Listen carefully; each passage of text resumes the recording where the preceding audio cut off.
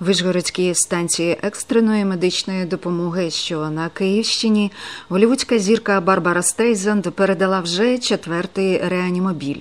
Про це повідомив на сторінці у Фейсбук Київський обласний центр екстреної медичної допомоги та медицини катастроф.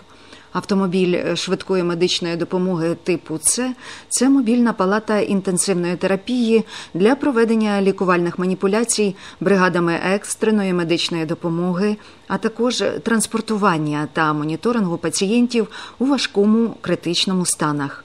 Бути оперативними, мобільними і доступними формула успіху обласної екстренки йдеться у повідомленні.